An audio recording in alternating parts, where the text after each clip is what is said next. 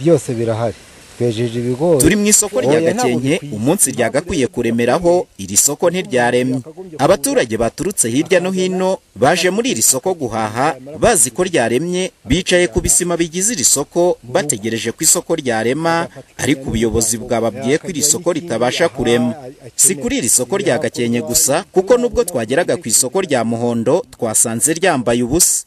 Bamwe mu baganiriye n'ibitangazamakuru bya Flash bati ubuyobozi ntibwagakwiye gufunga amasoko muri ibi bihe kuko tuba dukeneye guhaha ibyo tugomba kurya. ntabwo bikwiye impamvu rero bidakwiye ni uko umuntu yakagombye kuza akazana icyo afite akakigurisha yamara kukigurisha akakijyana mu rugo umuturage ikintu bimubangamiraho aba akeneye ya mavuta akeneye kugura na bya bindi bindi bi- asimburanya kuri bya biribwa byiwe bindi. Nimba yari akeneye ibyo birayi akabona uko ahaha bya birayi.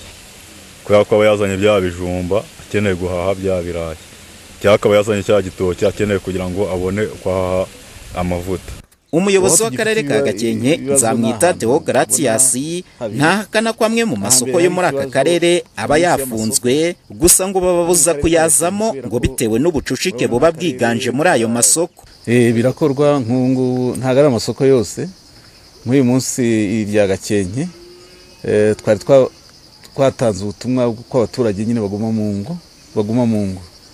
Eh, urumva iyo ubwiye abaturage ukanyuzamo hose ukanyura ko baguma mu ngo bituma nabo bagomba kwitabira nyine batitabira uko bakagombye. Nkaho nk'ubu tugiye tugatanga ubutumwa tukababwira ngo mwitabire isoko uyu munsi. Nyine bose bamanuka. Ariko iyo tubabwiye duti mugume mu ngo ni nkaho nyine twa bujije abantu badafite ibibazo byihariye wenda gushaka amafaranga ku isoko kuza. Hano mu karere ka gakenke kubera ko urabona ni akarere ka abaturage batunzwe n'ubuhinzi ku minsi y'isoko buriya abaturage hafi ya bose baza mu isoko. Ni ibintu bamenyereye ku minsi y'amasoko bajya mu isoko ku buryo eh, na biriya tuvuga byo kujya mu isoko ukabapanga biratugora cyane. Gusa aba baturage bifuza ko aya masoko yajya afungurwa nk'ahandi ahubwo bagakurikiza amabwirizwa aba yashyizweho mu rwego rwo kwirinda icyorezo cya coronavirus. ko isoko ukuntu ryaka- ryakaremye n'ubundi ni ya metero badusaba. Nimba uzanye bya bigurishwa byawe. Haba hari ababarangura. Ntabwo bisaba igihe kirekire.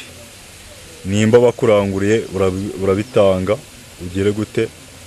Baguha ya mafaranga wongere wikomereze wigire mu kazi kawe. Hakorwa icyo nabona ku gitekerezo cyanjye mbona kuko amasoko yafungurwa akarema ariko akarema nyine abantu bari ku kuri muri za metero leta ya- yadutekererejeho kuko ntabwo yifuza kuko abaturage bayo bakwicwa n'icyo cyorezo Muri rusange amasoko twakwita ko ari manini aremwa n'abantu benshi mu karere ka Gakenke harimo isoko rya Murambo, isoko riherereye mu murenge wa Janja ndetse n'isoko rya Muhondo ugashyiraho n'isoko rya Gakenke.